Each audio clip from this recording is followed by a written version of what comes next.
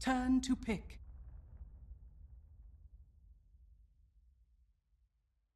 Drow Ranger.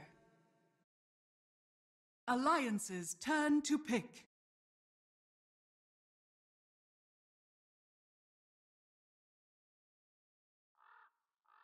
Bat Rider!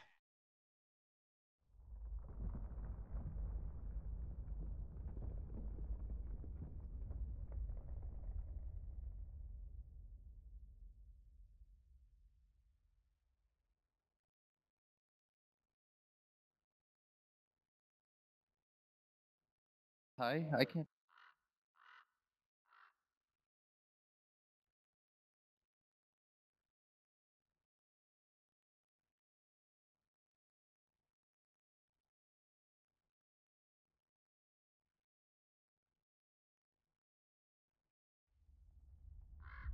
Yeah, thank you very much, Red. Indeed, myself and uh, Blitz uh, next to me. Uh, we're ready to go for game two. Game one, Blitz. A little bit of a shambles from some of the showing of, uh, of Team Secrets players, but hopefully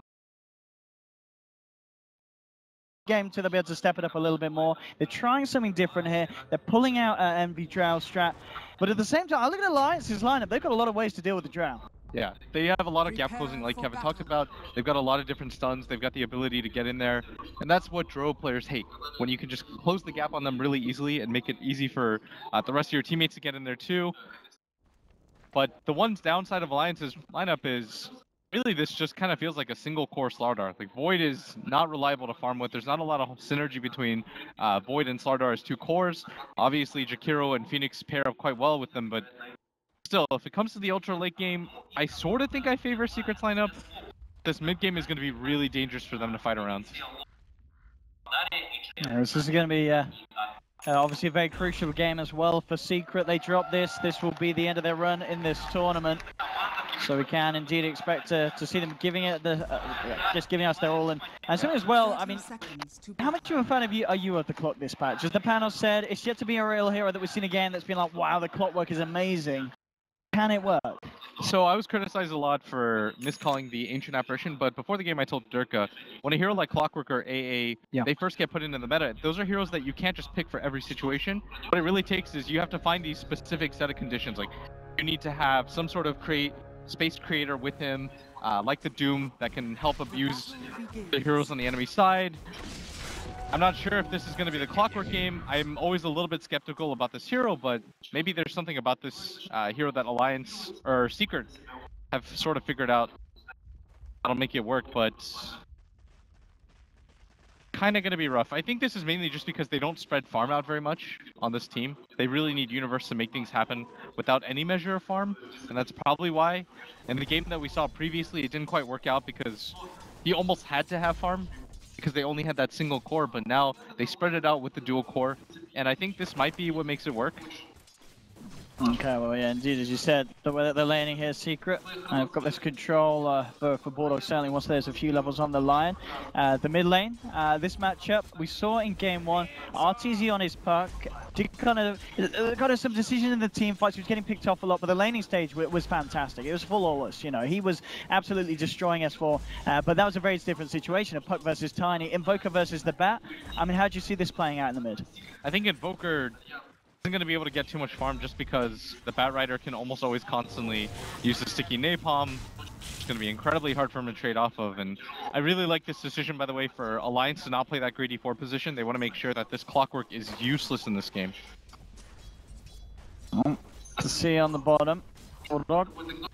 Again, just being fended off by Envy. Bulldogs, he's getting the levels, but in terms of the CS, it's going to be hard against this uh, this duo. Uh, and there, top lane, Puppey came up, wandering in, but Akke will be quick to force him back the harassment from the Phoenix. And towards the mid, it's as you said, S4, he is certainly having a, a very nice time against RTZ's Invoker at the moment.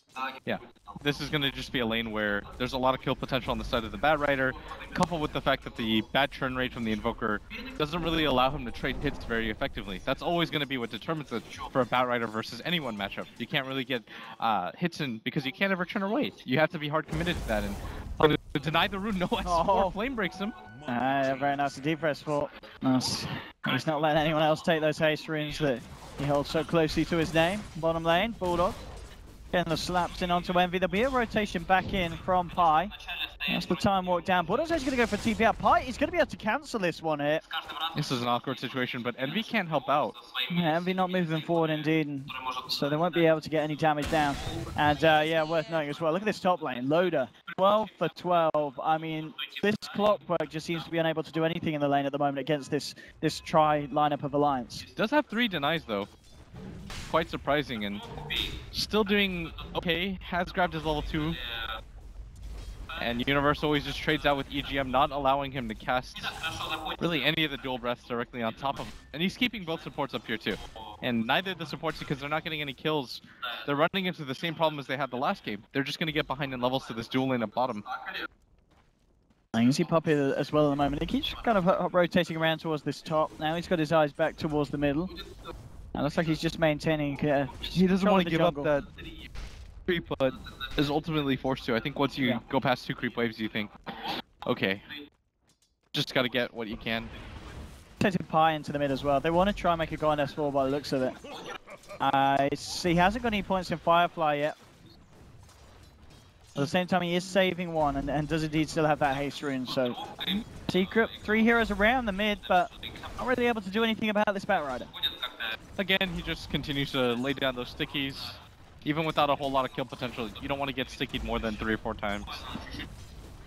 Uh, it certainly seems that uh, this matchup still 87 66 I, I, the thanks to kind of the presence of Puppey it looks like that's been enough to to allow Arteezy to catch up just making S4 being a little bit more careful about the way he plays he's trying to grab himself the rune and he will but with the cold snap the right clicks oh okay there with his sunray the heals keeping S4 alive and S4 will be fine gets himself away and just manages to avoid letting Secret get themselves that first blood onto him thanks to Akke's rotation With that haste rune too, he's gonna make his way all the way to bottom, find the invis rune, and gonna allow him some more opportunities Yeah. to get aggressive on this mid lane. At the same time, Invoker's still getting more CS than the Batrider. Quite surprising. Oh, he's called back, yeah. Uh, he's, he's recovered really nicely here, Arteezy. Yeah, this is a lineup or matchup that I thought he would struggle with a lot more. Oh, Bat is in trouble with the Sunstrike as well. This could be a first blood and all. This room, boys. S4. I mean, that man and his runes. You don't get luckier than that. You really don't. He's gonna go to the jungle, try to stack for himself. Fortunately for him, there's only gonna be one of those creeps there. This Puppey's already eaten one, but looks like he just wants to go back to base, expend his mana and his HP, try to be as efficient as possible. And Loda, of course, working towards that armlet. And uh, he'll have it in very, very good time at this rate. But at the same time, you know, you look over to Envy, he himself, he's getting just as much from the Drow Ranger. As, uh, as we can see, 35 to 13. The lane's starting to get pushed in, and with the rotation of Pi, as well, maybe they could try and get onto Bulldog. If they can get the lead in Hex, they could have a good shot of it. Not quite hitting level 6, but it might not matter with the Scorched Earth, the stun into the Sunstrike. There's your first blood. And very nice, of course, as well, that Arteezy will get that killing blow. So he's going to get himself that golden XP.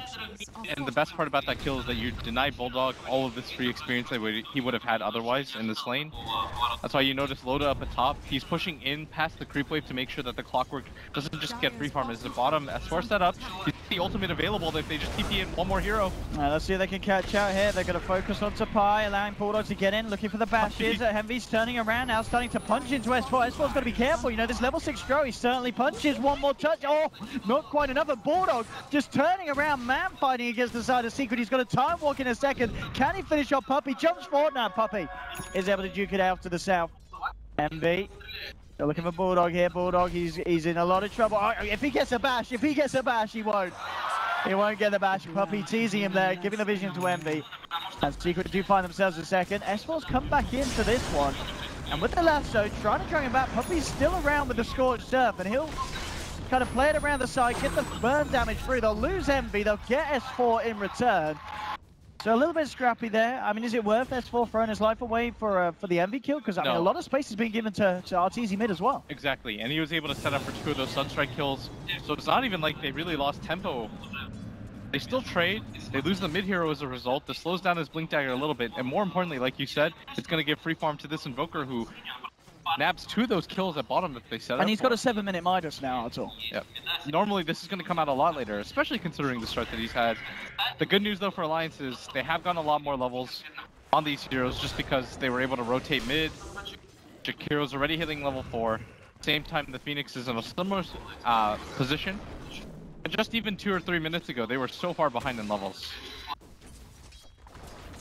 This is certainly looking, but again, we saw this from Secret in uh, game one. They did have a strong laning phase, and they're just unable to transition it into a, a reliable mid game with some questionable decisions. We'll see if they've learned from the mistakes, and, and with this kind of different lineup, they can make, uh, something a little bit more successful happen. Pi, very nicely as well, ignores the void, goes for the lockdown onto Akke. Very, very smart play and choice there from the line. That And again, it's three in a another kill for Invoker. I mean, RTZ is, he's going to be, as we can see, he's getting so much. He's already 1k ahead of S4's Batrider. Yeah. And most of this is just coming from his team, setting up Yeah, for him with the line. really. Very well done by him. Although you're going to look at the score if you're not watching the game and think Arteezy's creating a lot of space, but this has mainly come down so far to Pai's initiations, finding the angles around heroes. So far, they've been so successful, and this is going to free up the map a lot for them. And somebody has to come deal with mid, and at the same time, Universe finally starting to grab those levels up at top that he so crucially needs. He really, really does. Still been Alliance really just holding strong on their safe lane, mid lane. Look at this, going in again. S4 in a lot of trouble. He's going to go down. Another kill for RTZ. It really doesn't get better than this for the Invoker. Coming up to nine minutes in. and the amount of kills that he's had at the early timing on that Midas. I mean, if you're Alliance, what do you do to slow down RTZ's progression? Because he surely is getting out of control. You need item timings more than anything. Even the Void Chrono might be a little bit iffy. They're probably going to need at least two or three heroes there to be able to kill it. And Admiral Bulldog looks like he wants to set up for it, but if he doesn't get that successfully, then the Drow just continues to farm up at top. Universe can start to make things happen with his hook shots. And Alliance, they're going to have to come out in a big hurry. Similar situation as they were in the mid game uh, last game, where Batrider needs to get the Blink Dagger before he makes anything happen. So instead, it's going to be Loda that makes the rotation over. It looks like they want to invade the jungle. They know that Envy's there. Nobody's showing at bottom. And they might actually find him here as Envy fears that cliff, though. And great game sense by him. Yeah, and from the side of Secret as well, they're all coming around mid. You've got the full five man here, so if Alliance do decide to take a fight, that will be back up. Chrono's going to get dropped on Envy, but look, Secret already rotating in. Universe trying to get him with a with a hook shot. Envy, can he be kept alive? He's going they to not walk even gonna himself kill off. him? They're trying to turn around. They nearly get Akke. He has to get out with the Hex onto board up high, initiating the turnaround. They found Akke as well as he burned out. So two kills for Secret, and as we saw there, you know, Alliance desperate to fight, but Secret, they had the full five man ready to return, and at the end of the day, it was just a bad initiation, really, chronoing off the Drow on the back line, and they weren't able to kill him, and, and Secret got the perfect wraparound onto the remainder of Alliance's side. And that was an amped up Drow. You figured that she would go down quite quickly. This was a smoke gank by them where they rotated both those cores in. And it didn't work. Instead, they lose two heroes. I mean, that really kind of seems like uh, the mistake that Secret made in game in game one. You know, fighting around a tier two, just getting a little bit carried away, too desperate to find something, and then it, it really biting them in the foot. And, and now you're suddenly losing objectives, and and Secret are going to be starting to climb a fair amount ahead of you in terms of the net worth. We'll see if Alliance can fight here though, as, as they are all grouped around the mid lane. Oh, no, no, no real kind of jump potential yet. Did S4 finish the... Yeah, he's got the blink done now on the bat. I mean, it kind of all eyes on S4. We saw in game one how much he was able to do with the blink on Tiny in terms of just catching members of Secret off guard. He's He's got to do that again and bring his A game here in game two, really. They're going to need this Batrider Blink, like you Yeah. said, to make a lot of space for them because Secret, they can just passively farm if they want. This Invoker can go to the Ancients. He's going to have the Midas. He's going to naturally get further and further ahead the more this pass this game goes passive. And Secret, they can still get aggressive. They've got Hookshot into the Sunstrike. They've got different combinations to work out as long as these three are together. These core three heroes. They can even sit behind Envy in this situation, go for the push out, maybe even wait for S4 try to get aggressive here, but Alliance gonna farm a little bit, slow down the pace of the game for themselves. Trying not to get into another scenario where they have to make something happen without that Batrider.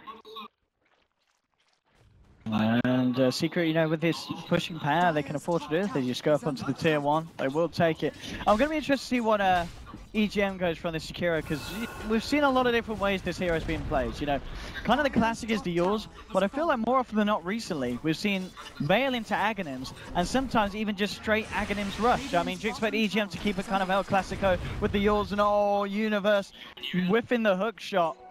And uh, yeah, that's that, that initiation is not going to happen. So yeah, what's the plan for EGM now in this current meta on on the Jakiro? What's the optimal build? He could decide to just go for the point booster straight away. Which is exactly what he's gonna do. So so will he then finish that off straight into the Aghs, or could he still go back to other items? I still that? think he goes for the Aghs here. I yeah, think just straight Aghs now. it just feels good as a support when you walk by. You've got a thousand gold. You don't really need arcanes on a hero like Jakiro. It sort of just adds up and makes sense. As they're gonna go for the trade, but that's a tier two tower. Normally, what uh, the dire side will go for in that case is go for the Roshan immediately, but not really in a position to do so. They don't have somebody that can tank for them. And this game comfortably is so far secrets. And mid game we thought this was going to be where Alliance came online, but even with the Bat Rider Blink Dagger, because of the defensive position that Secret have taken, it's a little bit too difficult for them. So we're having a few uh, connection issues here with Pi. We're getting back in, but yeah, this this kind of momentum from Secret, it's it's scary when you just look at yeah the, the value that that Artis is walking around with. You know, he's nearing onto 8k. It's, uh, it's a good clear 3k ahead of both the Bat and of course uh, Loda's Slardar. You know, Alliance, they, they really need something big. I mean, maybe they can find it with a Chronosphere, but it's just going to be a question of whether Secret give them that opportunity where, that, where they are going to be all grouped up. Because at the moment, Secret are certainly stepping up the play from game one. In game two. It is going to be difficult for Alliance to rush into that because of the clockwork. You've got a lot of naturally tanky heroes. Yeah. Would kind of like to see somebody grab something like a Force Staff to try to help Envy out in the situations where he does get gone on immediately. Of course, Envy might not even be the issue here. Like you said, Invoker does have so much farm on him already. Level 11 easily leads this game in both XP and net worth. And Envy's not too far behind either, considering he doesn't have that Midas. This top push, though, gonna force one of the heroes from Alliance to come back, and that might actually just prompt Secret to immediately go mid, try to pressure that tier 2 tower. Alliance aren't gonna fight. We go. We've got Pi back in the game, so we should be uh, able to get ourselves back in as we just enjoy these uh, beautiful shots of the players. There's S4, man himself. He's he's in the zone at the moment. He is ready to get back in. And Envy, yeah, close that tab, son. Let's get on with the game. Thank you, Jackie. Let's go. Here we go. Game two continues. It's 8 for 2 at the moment. It's uh, 12 and a half minutes in. As you're saying, it's going to be hard for Alliance to find that real big swinger um, to, to bring this one back round at this stage. But at the moment, they're just avoiding the fights, looking at these pushes. They look at this tier one. They scan the sidelines just to make sure no kind of counter jumps are going to be there from Secret, and it won't be indeed. So they'll get away with this one. They'll send Loda back up to clear out that top wave, continue to get the farm on the fallen. But uh, Secret at the moment, I mean, if you're Secret, I guess you've just got to try and make sure you don't do what you did in game one at this point. You've got the lead, you've got the edge. Don't go any for any kind of those plays that, that are going to come back to punish you pretty hard. Oh, Loda up at top. Does get hit by that Sunstrike, but Armlet toggles, and yes, you are correct. In that mid-engagement, remember when they were going for EGM? Yeah. They fail the hookshot, they immediately disengage. I think they're a lot more disciplined in this game. They're playing out their lineup to its strengths a lot more than they were in game number one. In game number one, it felt just a bit off because they have a Spectre, they were rolling in the lanes, and then they just felt like they had to make something happen. And now this game, they're playing a lot more patient. Look at this. EGM's not gonna go A down. wild dragon's been found. EGM walks around the mid lane, and Puppey and Pie. I'll be quick to sort that out. I think they might even decide to go for this tier 2 mid. They first have to deal with bottom though. As that'll probably be the Invoker sent down there. They should defend this though, it's 5. This is an easy defense for them to make. I guess this is the thing as well. I mean, in comparison to Secret's lineup, Alliance, all they're pushing kind of just rests on EGM's Jakiro, really, doesn't it? Yeah. EGM has to be kind of that front line for them is Bat Rider plus Slardar and Void. Those aren't cores that you want to commit to hitting towers. Yeah. Those are cores that you simply want to keep back, and that's why Jakiro as a, as a pick makes sense. The problem with Jakiro though is when you get behind in games like this, it just feels like you don't have a whole lot to do outside of farming. Absolutely. I mean, they've now got that Blink Dagger turn on Loda, so we'll maybe see if they want to try and make some uh, plays happen with him leading in. And in fact, with this movement from the base, yeah, smoked up. They want to do something big with the Blink Dagger reveal. It's just a question of whether Secret's positioning is going to allow Alliance to find that jump onto them. They move into the jungle. Secret, three heroes down at the moment, but already you can see playing very defensively. Keeping Pi and Universe behind the tier two. Puppey's already made his way back over to the mid lane, so this presence of Alliance, that they're not going to be able to find a kill off the back of it.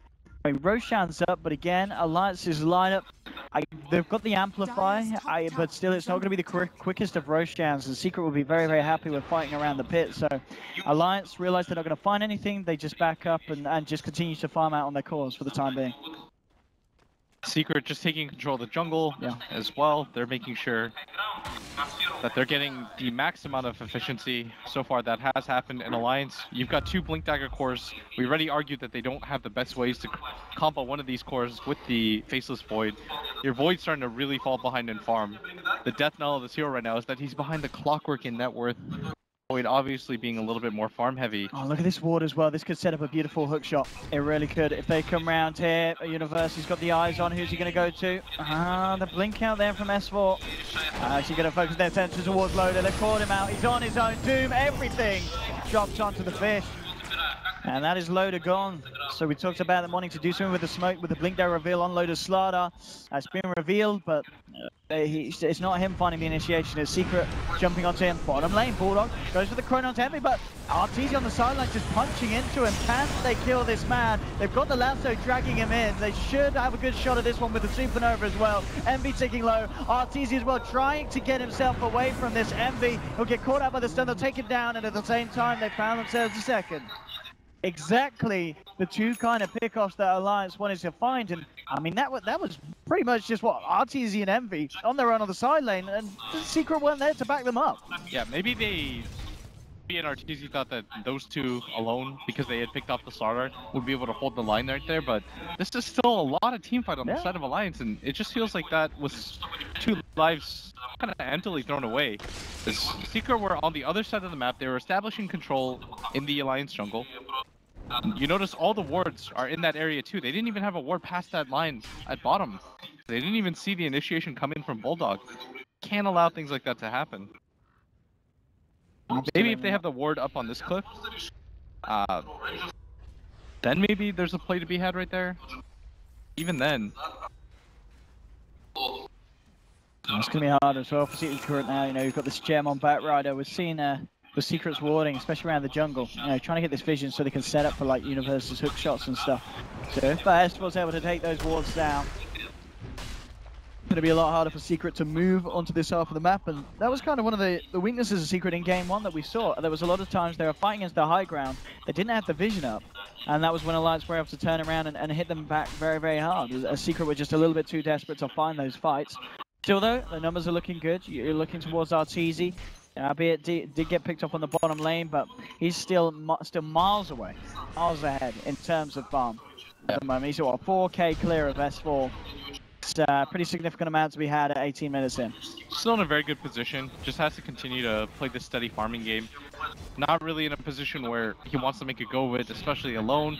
You can allow your teammates to set up. We saw the most successful he's been so far is whenever he gets to sun, set up for these sunstrike kills. Mid lane. Warlock just time walking back. Or Universe unable to find the lead in. And uh, RTZ just continuing to, to push out these lanes to clean up the jungle uh, of Alliance. And uh, find his way towards down Aghanim Scepter, which he is going to very, very shortly have done here. Pi. The ward out, but straight away with that gem, S4 taking it away from him. Very important ward for them to place, just because Yeah. you want to try to get vision around that area. Make sure that uh, you can go for these sneak Rosh attempts and nobody from Secret sees you. Most importantly, because that bottom tier 2 is one of the few tier 2s up still for you, it's going to be natural to fight around it. And just scanning out this area of the map. Uh, secret, they're just seeing if uh, if were headi- uh, heading into the Roshan. Obviously, just a little bit away after that D ward that they that could be the case, but Alliance uh, they look to want to try for Rosh. I mean, do you, with this kind of lineup, do, do Alliance need to try and find a pick off really before they commit to Roshan as a as a full five? Yeah, definitely. Yeah. Against Secret's lineup, they can close gaps really quickly with that uh, clockwork. Then, if Universe gets a really good hook shot, if into Cogs by that Roshan pit, you can see him do a lot of damage right there with that Blade Mail. No BKBs on the side of Alliance so far. So probably have to play a little bit more careful than you like. But they have done the right thing. When the game gets a little bit passive like this, try to gem. Make sure that you're at least winning in the vision game, if not the farm one. And then this is going to be big as well. I mean, look, looking towards Pi, he's he's been playing it safe, and, and now he has pretty much got that money for the Blink Dagger. and having that blink against some of these yeah, high mobility heroes. And a lot of heroes they're going to be looking to jump in and jump out. Uh, it could be very nice for Secret to start the fight with, with Pi getting the lockdown onto one. And well, knowing Pi, he, he will be able to find the angle to, to catch out multiple heroes with his positioning. And uh, Jakiro EGM, he's got the Force Staff though, so, so obviously if he's not going to be the one jumped on, something to try and back his teammates out of the fights with if they do get jumped on by Pi. They are setting up around mid. And Alliance just trying to clear out their jungle with the gem. They've got to push out this top lane though before they want to make anything happen.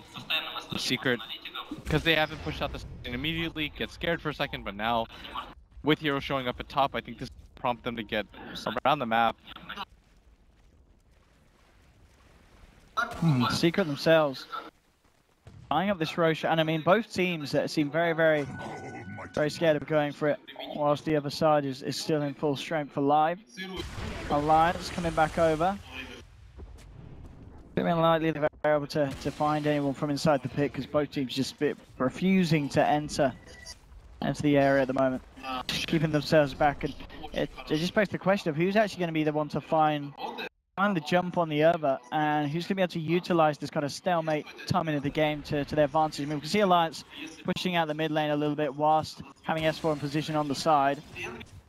Any lineup that just features a single core, uh, the Void and the Slardar obviously not really being one positions that you necessarily want at some point, especially with this hood build that Bulldogs decided to go for, and Loda just hasn't been able to farm too much. So in that situation, of course, you would like Secret's lineup. Yeah. They can they can afford to passive it out because your Invoker has a lot of room to grow. He has very definitive power spikes. Same with this Drow Ranger even. And the two supports uh, from Secret just have a little bit more impact when it comes to team fights. And look at S4 on the side here, still hanging around. Uh, they'll spot him out. The question is, do they want to try and jump in onto the bat? Uh, so they don't want to here with a hook shot. Holding it off, but now they will. I mean, yeah, S4 is miles away from his team, and he's gone. S4 teased them a little bit too long, and Secret, they'll jump on him. I mean, Alliance are backed up, and S4 still... And they have vision with the rocket. I said, no, no escape for the bat, and without the bat on the map, this is a good chance for a Secret to go for the Roshan, and looking at Alliance's positioning, I guess they just realized that uh, trying to jump in without the Bat Rider is, is a pretty much impossible task. No, I think this is a Roshan that is very free for Secret, especially after Yeah. that back kill. And they understand how S4 wants to play. Some of these players, a lot of these players played with him before on that old Secret roster. They know that he likes to try to go for these jumps on stragglers. His team has a lot of different ways to follow up, but instead they continue to deny and just frustrate Team Alliance. And it seems to be working at the moment. It really does. It, it- you know, 23 minutes into this game compared to game Oh, up one, the it top. seems like a totally different way of playing. Indeed. I mean, this man, Artour, he's going to be very, very open to going for a play onto EGM. If EGM comes out a little bit too far, the pings. Actually from Puppey. Maybe telling Arteezy to be safe, stay back. But now, He I mean, is way far EGM has come rather far down this lane. Force Staff isn't going to save you, son. And they'll pick themselves up another one. And going the way of Arteezy once again on his Invoker. And we really see our seeing at this point that just the cause of Secret Envy and Arteezy, they are ahead. And it's kind of questionable whether Alliance are going to be able to get themselves back on top. And this is how speed.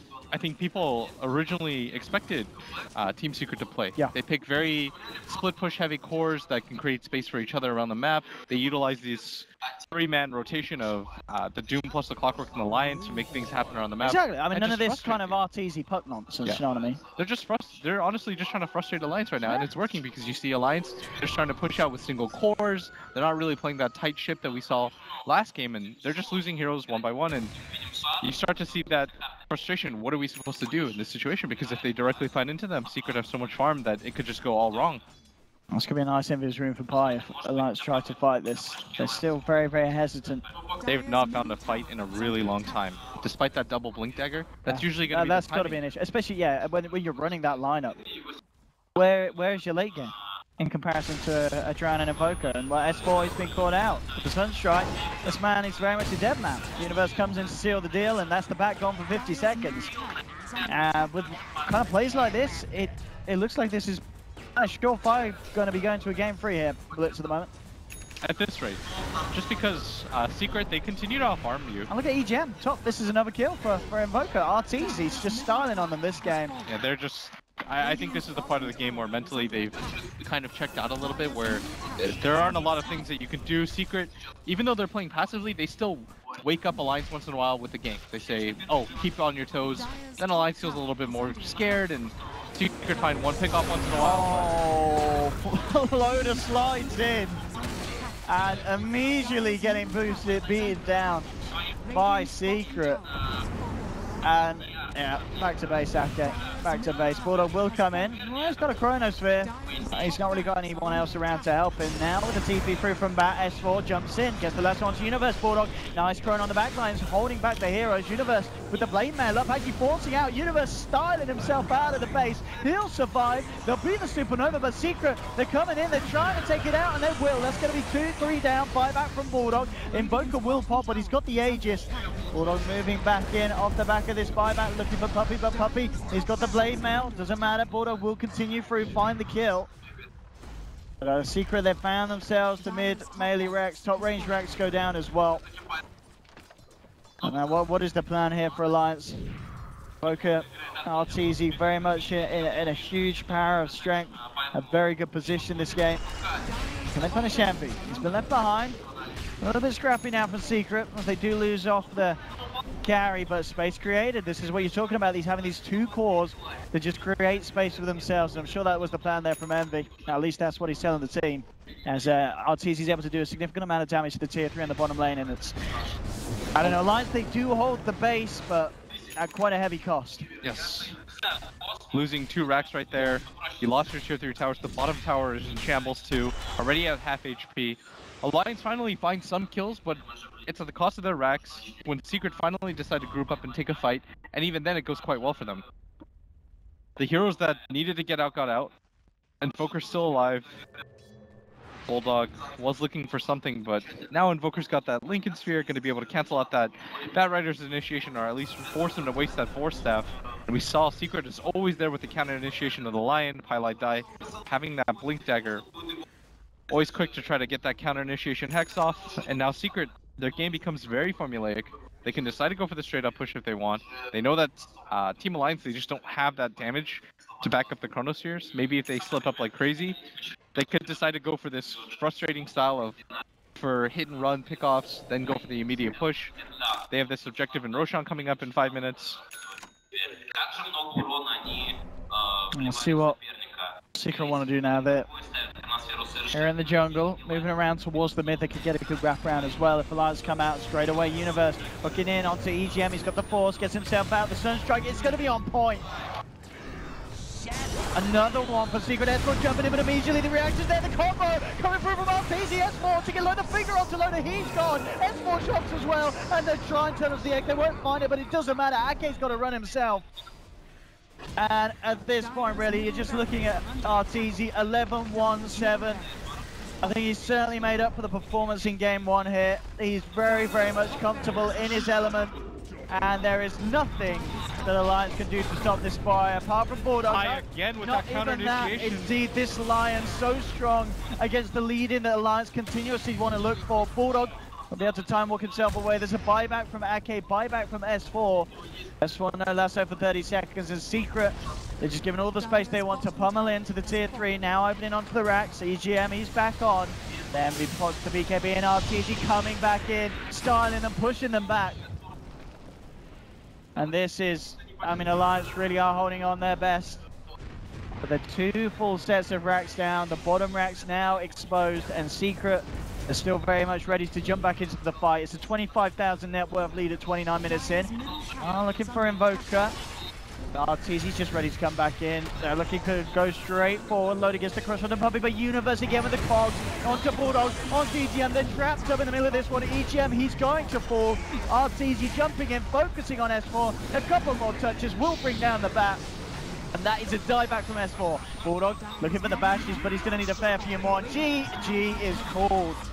Game two, just an absolute showing of the skill that you would expect from Secret's lineup.